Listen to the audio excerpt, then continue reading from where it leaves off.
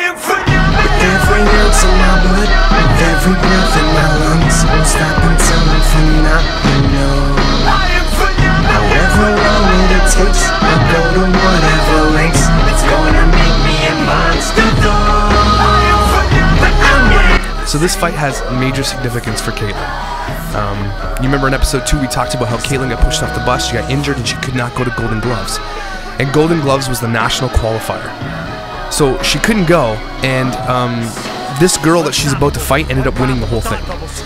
So Beaver had to ask uh, Boxing Ontario for a box off because she was injured, and the girl and Caitlyn had each won a tournament, but had never fought one another. So Caitlyn was itching to get in the ring. You know, Boxing Ontario declined the request for a box off because there's another qualifier in February. So uh, Caitlyn just wanted to step in the ring to show everybody what would have happened at the Golden Gloves tournament. So this is what happened. Time to slip in that zone till I find myself inside the realm of the unknown and boldly go into waters where nobody else has gone before or willing to go uncharted. Feeling it so calm, I'm feeling myself. I'm a giant sometimes